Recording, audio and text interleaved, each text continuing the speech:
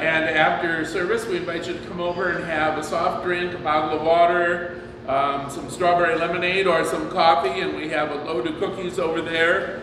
Uh, so we're in the parish hall because I think it's going to be too hot on the patio today after church. So um, just step across and through the red door over there, uh, you'll find an entrance for those of you who are visitors and guests. Uh, Jonah Taylor Daniels has his 19th birthday coming up this week. He was actually born on a Father's Day, if I remember correctly. Yep. No, I think it was the day of, because I was hospitalized at the same hospital uh, the day he was born. So um, I kind of remember that one. And Cassandra Caramella has a birthday coming up on the 21st as well. Um, please remember the Karchners in Hawaii in your prayers. Um, and then there are the regular special collections, discretionary fund. Um, we've, we've had some very positive responses to there being dog food in the handouts, uh, the blessing bags, from people who find it just as difficult to find food for their dogs as they do food for themselves, um, and really appreciate that assistance. Uh, so remember, we can take financial donations and we'll purchase items for blessing bags, or if you have them to give, we will certainly take them and use them. Um, and a, a, big bag of dog food wouldn't be bad either. So keep that in mind. And then um, all sizes of white athletic socks, new ones for a program across the border, and there is, as I said last week after the Synod Assembly, we know there is another mission in uh, Nogales, Sonora, which helps people who are coming in, trying to come into the country legally. And they house up to 150 to 200 people in their mission, feed them three meals a day, give them showers, and the big claim is with hot water, um, and that is supported by the ELCA, the Presbyterian, Presbyterian Church USA, the Methodist, and the United Church of Christ. Um, all of us together who are full communion partners work to support that mission site. So if that's something you would like to give to um, through the ELCA, you can designate giving for that and we'll get the name. It's, it's Misericordia, but I don't know what the first part of it is. Uh, so we'll have to get hold of the synod to get that name. And I may have it in my um, agenda from the synod too. So uh, keep that in mind. Also, non-perishable items for the food cart. Those are very important.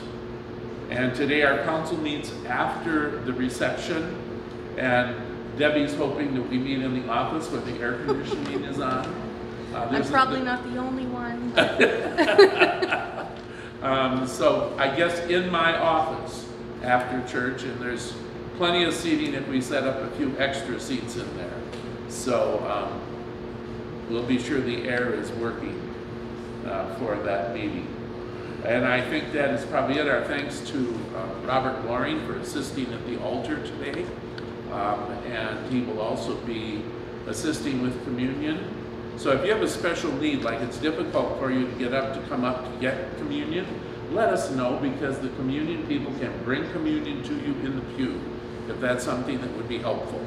So uh, just keep that in mind. And I think we're all set to go, Robert. Good morning. Good morning. In the name of the Father, the Son, and the Holy Spirit. Amen. Almighty God, to whom all hearts are open, all desires known, and from whom no secrets are hid, cleanse the thoughts of our hearts by the inspiration of your Holy Spirit, that we may perfectly love you and worthily magnify your holy name through Jesus Christ our Lord. Amen.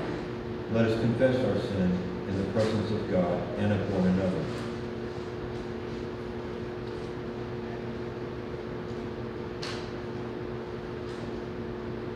Most merciful God, we confess that we are captives to sin and cannot free ourselves. We have sinned against you in thought, word, and deed, by what we have done and by what we have left undone. We have not loved you with our whole heart we have not loved our neighbors as ourselves. Sake of your Son, Jesus Christ, have mercy on us. Forgive us, renew us, and lead us, so that we may light your will and walk in your ways, to the glory of your holy name. Amen. God, who is rich in mercy, loved us even when we were dead in sin, and made us alive together with Christ. By grace you have been saved. In the name of Jesus Christ, your sins are forgiven. Almighty God, strengthen you with power through the Holy Spirit, that Christ may live in your hearts through faith. Amen. Amen.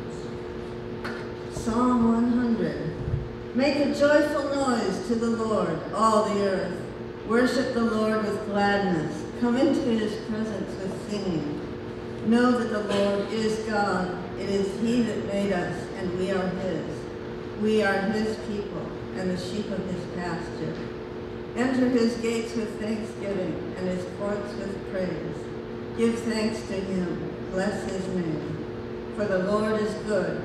His steadfast love endures forever, and his faithfulness to all generations. The, sec- the re- second reading is from Romans chapter 5. Therefore, since we are justified by faith, we have peace with God through our Lord Jesus Christ, through whom we have obtained access to this grace in which we stand, and we boast in our hope of start of sharing the glory of God.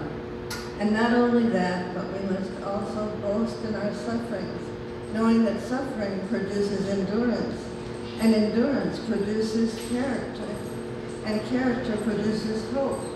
And hope does not disappoint us, because God's love has been poured into our hearts through the Holy Spirit that has been given to us.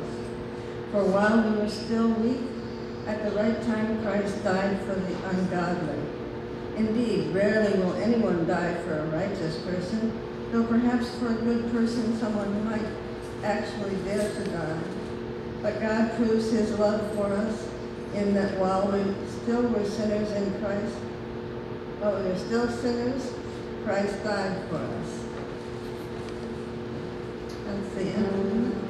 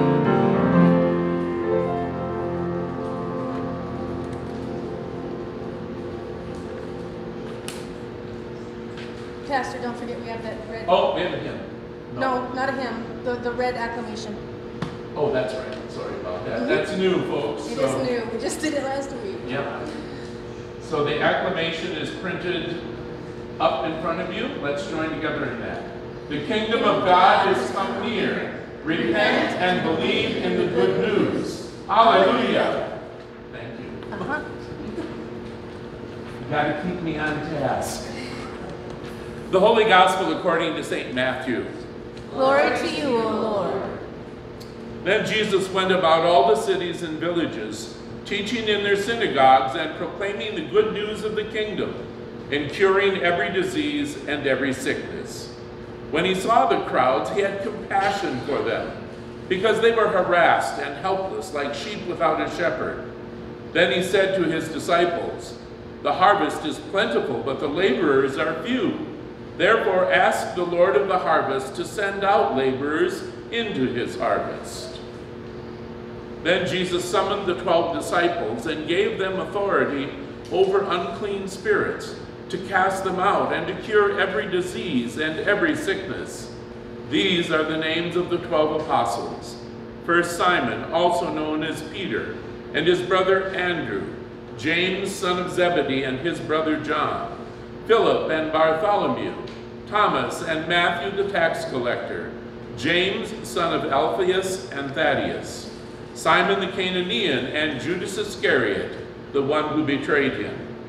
These twelve Jesus sent out with the following instructions Go nowhere among the Gentiles and enter no town of the Samaritans, but go rather to the lost sheep of the house of Israel.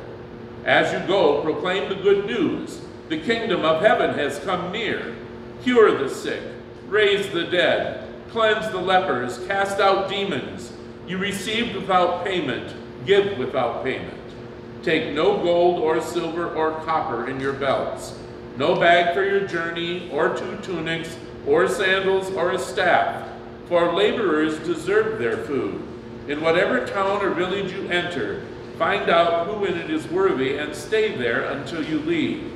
As you enter the house, greet it. If the house is worthy, let your peace come upon it. But if it is not worthy, let your peace return to you. If anyone will not welcome you or listen to your words, shake off the dust from your feet as you leave that house or town. Truly I tell you, it would be more tolerable for the land of Sodom and Gomorrah on that on the day of judgment than for that town. See, I am sending you out like sheep into the midst of wolves. So be wise as serpents and innocent as doves. Beware of them, for they will hand you over to councils and flog you in their synagogues. And you will be dragged before governors and kings because of me, as a testimony to them and the Gentiles. When they hand you over, do not worry about how you are to speak or what you are to say, for what you are to say will be given to you at that time. For it is not you who speak, but the Spirit of the Father speaking through you. Brother will betray, betray brother to death, and a, and a father his children, his child and children will rise against parent. Try that again, folks. Brother will betray, betray brother to death, and a father his child. And children will rise against parents and have them put to death. And you will be hated by all because of my name. But the one who endures to the end will be saved. When they persecute you in one town, flee to the next. For truly I tell you, you will not have gone through all the towns of Israel before the Son of Man comes. The Holy Gospel of the Lord. Praise to you, O Christ.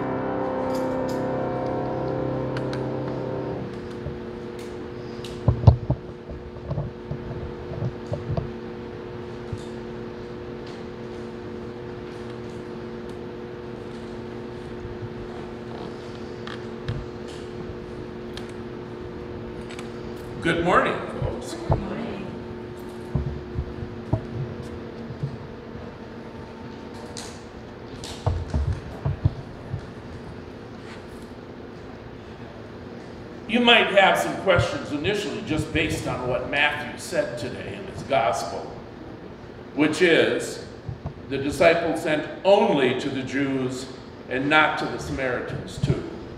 Because in the other Gospels, we discover that Christ is very open to speaking with the Samaritans, very open to helping them out in times of crisis, in times of illness. But Matthew's agenda was to write for the Jews. And so he wanted to be sure that they understood that Christ had been sent for the elect. And that's why we have this speaking about not sending the disciples out um, to include the Samaritan communities. Now, I don't know. We're all disciples of Christ. We're members of the body of Christ, the church. It doesn't sound like a fun job. When we read the Gospels, when we hear Paul uh, speaking about justification by faith, but what people will face, and we know what the disciples and Paul faced in their proclaiming the gospel. There were times when Paul was stoned as he fled from a community. And I can tell you that one of the things that happens as you proclaim your faith in Jesus Christ and the joy and hope that lives in you, not everybody is ready to hear it. Any more than all the Jews were ready to hear Jesus talk about it. They went and, and the disciples healed, as we know. They were even given the ability to raise people from the dead when they were sent out. And I want you to note who was included. Even though Christ knew that Judas was going to be a problem, Judas was sent out with the very same gifts as the other disciples. He wasn't separated off to say, oh, you stay home and administrate. Um, while the rest go out and do this work I'm asking them to do. No. Judas received the very same gifts as the other disciples. Maybe, maybe for Christ there was hope in, in giving Judas that gift of going out and healing people and raising the dead would transform his life. But Judas had some other agendas, as we all know he became disappointed in the fact that Jesus would not strike out, uh, which he knew he had the power to do, but he was unwilling to do. Then instead he journeyed towards sacrifice and death rather than towards the victory that the people of Israel had hoped for in a Messiah. And Judas was one of those folks. So when you and I go out into the world, you know, the world outside of these doors, outside of that wall, and in the places where we live, our neighborhoods, with our friends, sometimes with our families, um, our co-workers, and people we just casually meet, maybe waiting in the line at the grocery store, um, that we might have an opportunity to speak about our faith. We might also have an opportunity to witness about what generosity is all about in some of those circumstances, about what it means to be able to help somebody. Now, I've watched people get up partway through a grocery line and not have enough money to finish buying their groceries, and I finished buying them for them. That speaks, that speaks much more loudly in many cases than my standing there and saying, Jesus loves you. It's too bad you can't get all your groceries, but Jesus loves you. Hmm, is that really what Jesus would do? No, Jesus would not do that. He would be reaching out and helping out in any way he could possibly help. We know that a lot of outsiders went to Jesus to ask for help, especially when it had to do with their children. There were several children who died who had to be raised from the dead by Christ. Um, he had a, a real tender spot in his life. And these people were not people who necessarily, necessarily believed in him. But they, as a, as a last part of the desperation of losing a child, they went to Christ to ask for his help. And he never refused. He always stopped what he was doing and took off to help where he could, to do what he could, which was to raise their children. You and I need to be aware that the things we have to say about our faith are very important. They're critical and important in the lives of other people. Because a lot of people are unwilling to hear about joy, about the gift of faith, about feeling confident and strengthened and comforted for our life's journeys because their life isn't anything like that. It could be. They could find, even in the face of, of facing some really tough stuff, they could find that joy in Christ and that comfort and that sense of peace. We see it again and again and again in people in the church. But oftentimes, when other people get to that point, they're too angry about it all. And it's hard to break through with the power of Christ's love. And we understand that because what did Jesus tell the disciples to do if they went into a house or a town where they weren't well received with their message? He said, Flee, leave, shake the dust off your feet and go. Now, we can be faced with that too, but it doesn't mean we get to dismiss those people. We are called to keep those people in our prayers for the presence of the Spirit to work in their lives in the same way it has worked in ours. So we can't just stop thinking about someone who says, oh, that's a bunch of hogwash, that stuff, that going to church and giving money and praying and hoping against hope that things are going to always be okay. We hear it all the time. And then some of the biggest damage to the whole Christian church comes when the Southern Baptist Convention kicks out 40,000 members because they wanted women to be in leadership positions for the women of their congregations. 40,000 members, folks. Well, that's half the size of the synod that we're a part of in Arizona. That's dismissing that number of people. Hard to believe, isn't it?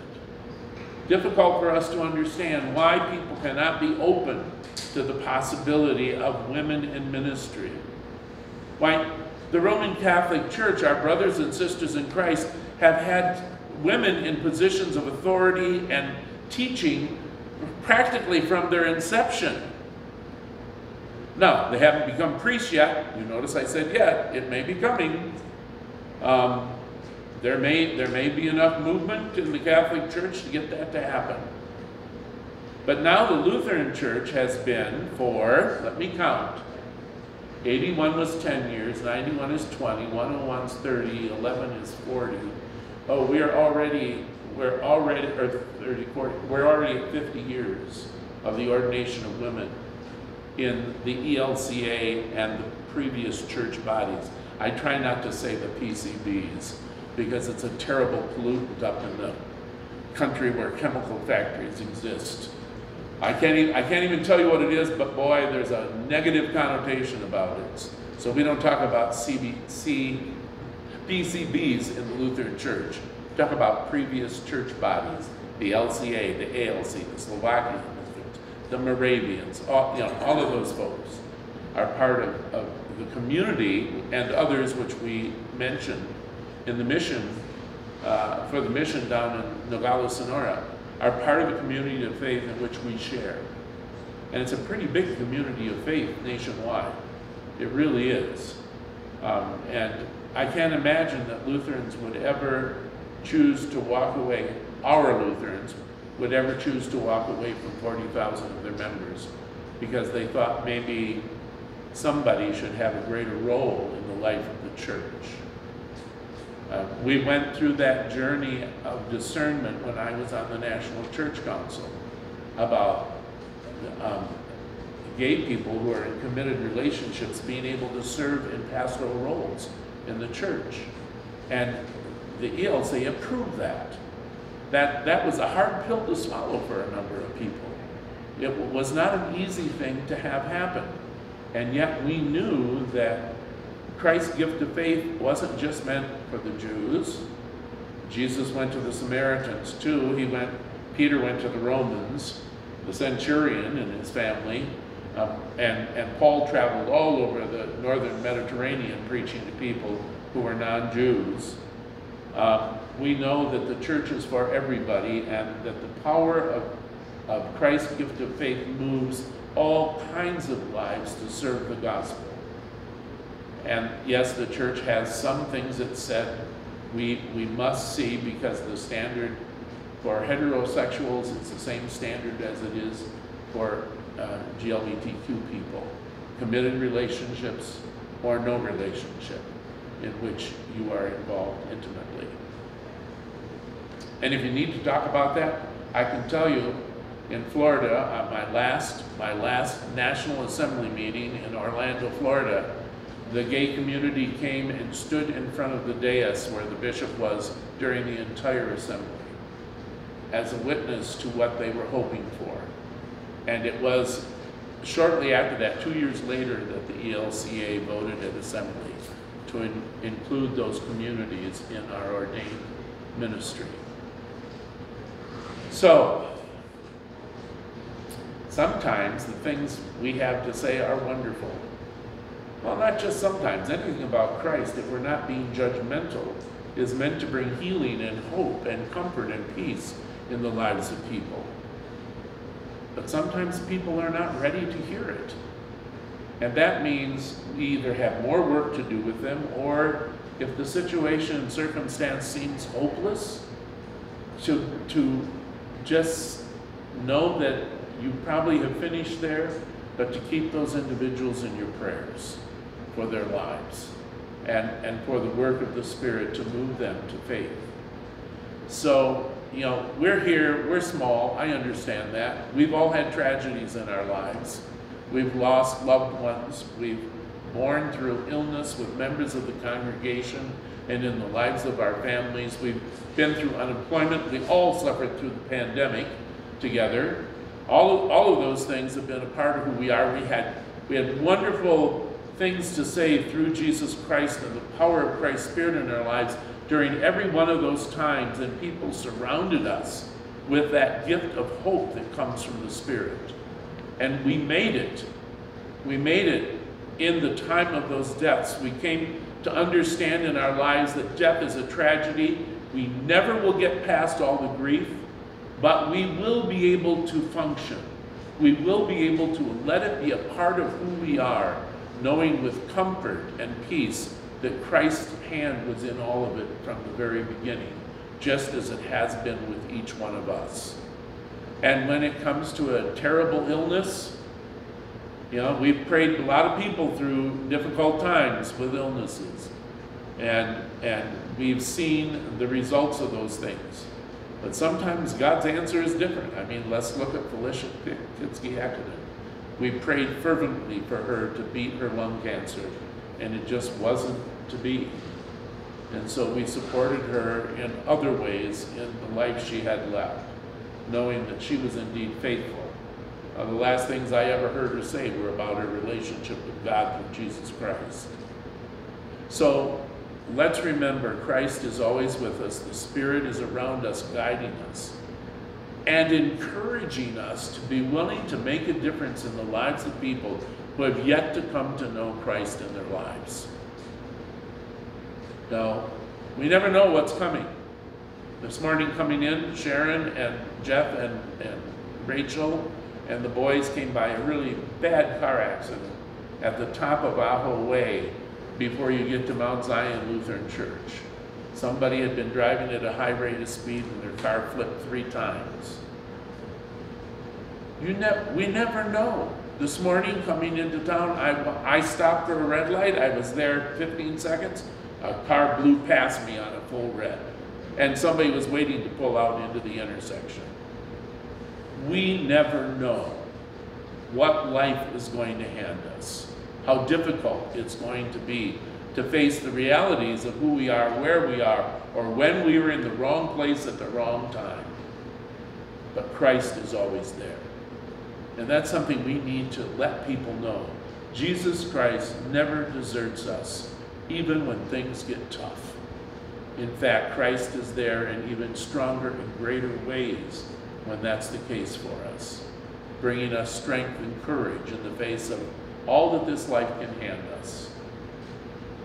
I, I told you when I had to have my surgery for my prostate, it waited three times, got, kept getting delayed. Well, I think it was God's action because it took me that long to get emotionally ready to have that done. But in order to do it, it was too bad God had to really bung up the knee on my surgeon so that he couldn't stand to do the surgery until finally, almost a year later, when he was able to be on his feet to do that surgery. And he said to me, Why didn't you just ask one of my associates to do it? And I said, Your associates are not nationally awarded for this surgery that you do, that you do so well. And I was willing to wait with all of the difficulties that accompanied it so that I could have you do the surgery. So, you know, we never know, do we? How God's going to intervene, how things are going to work, but what we do know is, Lo, I will be with you until the end of the age. And since it was spoken by Christ himself, it is steadfast and certain. And you can take it to the bank. Now, maybe you don't want to put it in the bank. Um, maybe you should take it to your credit union. Um, maybe we should make that saying that instead of taking it to the bank, which no longer has drive-throughs at most of their branches. Oh, that's a personal issue, I'm sorry. Um, so, um, please remember who you are. Remember the one to whom you belong. Remember what it says about, don't worry about what you're going to say when people start to confront you. You don't have to plan in advance because the Spirit will be with you to give you what you need to say. And I can attest to that from Sunday to Sunday to Sunday in every sermon. Amen.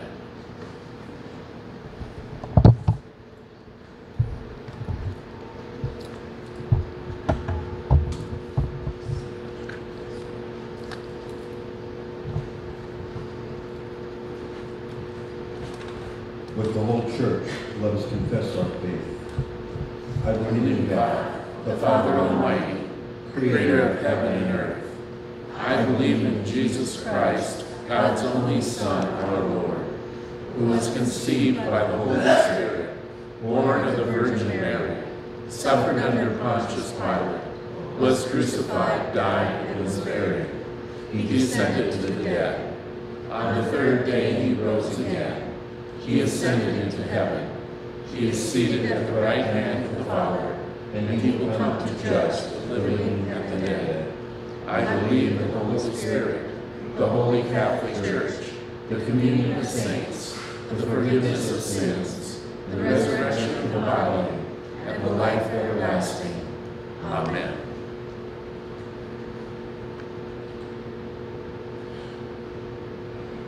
Let us pray now for the whole people of God in Christ Jesus, for the church, and for the specific needs of people, as well as praying for all of God's creation. Maybe particularly for people on the eastern half of the country with all the smoke coming out of Canada uh, that's making their situation critical for people who are asthmatic or have other health conditions. Gracious Lord, we thank you for accompanying us in our life's journey. You have promised to always be with us. You have made it clear that you will never leave us alone, that you will always be there to uphold us and strengthen us. And even in those times when we aren't ready, you'll continue to work and be present in, with, and around us to help us move through the difficulties and troubles of this life. We give you thanks for loving us so much. We praise your holy name, for you have come from the Creator of all things, and you are our Lord and Savior, who has come to save all of humankind. Hear us, O God. Gracious Lord, we offer a prayer of praise and, and celebration and thanksgiving for um, some new life opportunities that are opening up for Lisa Mendoza with regards to her skill at um, interpreting for the deaf community. Uh, we pray that you'll be with her and help her to make wise decisions and choices as this continues to unfold for her in her life. We, we pray that um, you'll be with her entire family because she has a busy family life too. And that you'll help them to understand uh, that this is an opportunity that may only come once in a lifetime. And, and we pray that you'll be with her family to help them cope well with this. Hear us, O God. Gracious Lord, we pray for um, our nephew Mark, who is in care in his early 60s. He is a, an always recovering alcoholic who has suffered great, great physical harm due to his alcoholism. We pray for Melody's brother Terry as he continues to heal from eye surgery. And we pray for Candy Check, that she'll get into life in a way that is healthy and hope-filled for her.